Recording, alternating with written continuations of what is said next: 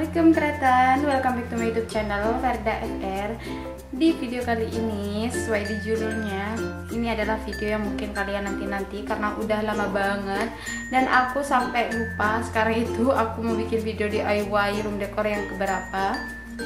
Dan ya sekarang itu aku mau bikin DIY room decor lagi. Dan kali ini aku mau bikin DIY room decor di kamar sebelah aku sebelah di kamar yang kedua aku jadi di di kamar yang serba pink gitu so ya biar gak lama-lama langsung aja kita ke video. Di DIY room decor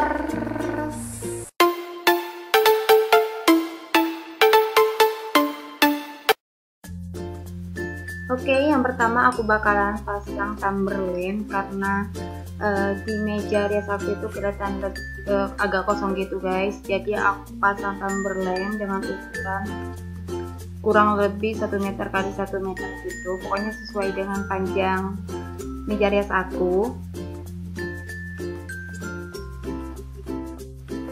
Jadi aku menggunakan Timberland warna pelangi gitu guys. Dan ya hasilnya bakal lucu banget setelah dihidupin lampunya dan aku suka banget karena ya bikin meja rias aku itu tambah ceria dan cute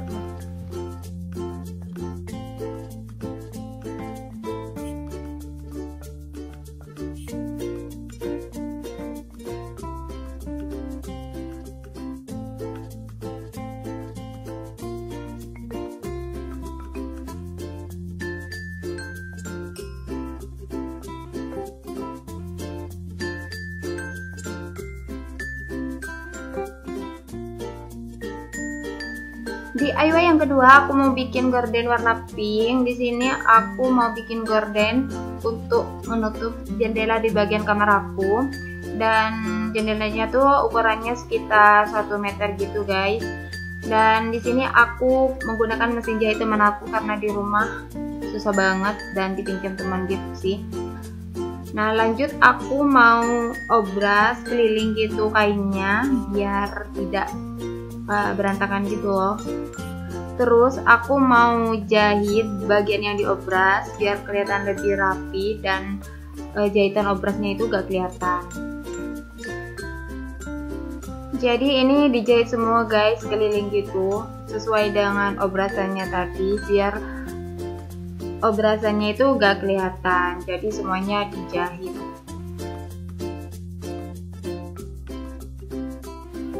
lanjut aku mau jahit lipat-lipat gitu guys. Pokoknya sampai ukuran kainnya itu 1 meter sekitaran 1 meter. Dan ini kainnya itu lebih dari 1 meter untuk lipatan kayak gini.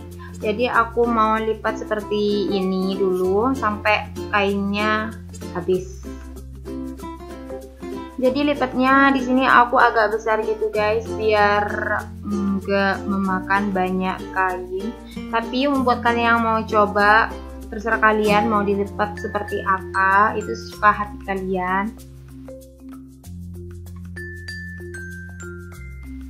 Nah lanjut. Di bagian atasnya aku kasih renda warna hitam gitu guys biar kelihatan lebih rapi aja.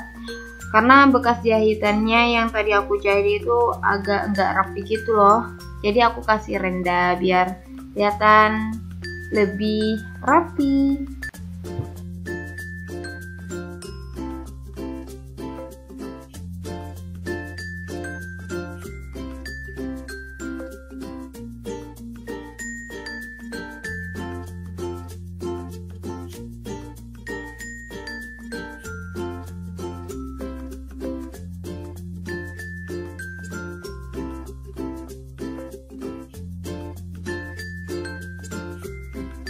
Oke okay guys, hasilnya bakalan seperti ini dan lipatannya bakalan seperti ini juga.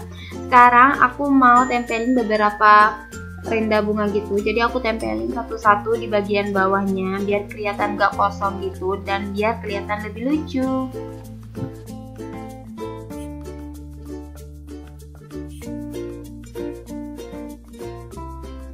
Oke okay guys, langsung aku mau pasang pakai paku di bagian jendela atas sana aku pakai paku biar lebih biar nggak cepat copot gitu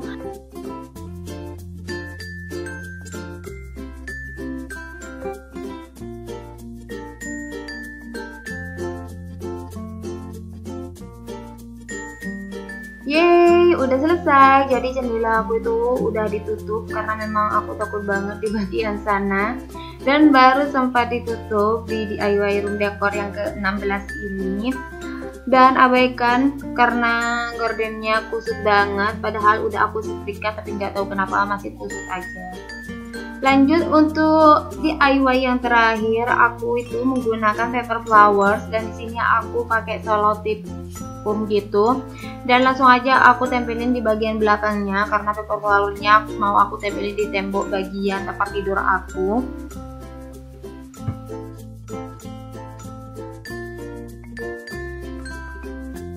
Oke okay guys, langsung aja aku susun di bagian atas tempat tidur aku dan di bagian tengahnya itu harus yang paper flower yang lebih besar. Dan keduanya aku bikin paper flower yang lebih kecil gitu. Dan aku bikin bulu mata gitu loh guys tapi dalam keadaan tidur. Jadi so cute lucu banget tuh kan lanjut aku bikin daun-daun dan aku taruh di bagian kepala gitu di atas. Yeay udah selesai. Jadi aku paling suka di bagian ini karena lucu banget. Dan tempat tidur aku itu kelihatan lebih cute dan ya pokoknya aku suka banget di bagian ini guys. Menurut kalian gimana? Komen di kolom komentar ya dan ya ini dia DIY aku yang ke-16 Semoga kalian suka Dan semoga video ini bermanfaat buat kalian Dan menginspirasi kalian. Komen di kolom komentar Next video mau bikin video apa. Dan ya see you in my next video. Bye